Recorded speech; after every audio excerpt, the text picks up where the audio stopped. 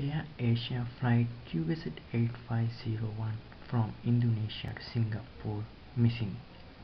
An Air Asia plane with 161 people on board lost contact with ground control on Sunday while flying over the Java Sea after taking off from a provincial city in Indonesia to Singapore.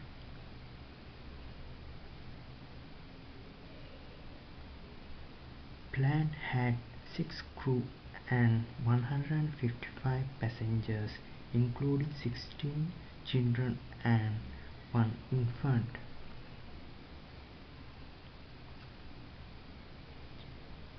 The flight had been due to arrive in Singapore at 8.30.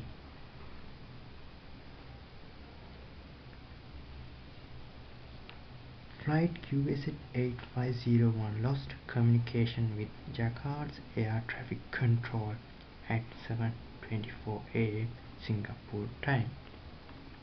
It is said that because of bad weather might have been a factor in the plane's disappearance. At the present moment, they unfortunately have no further information regarding the status of the passengers and crew members on board.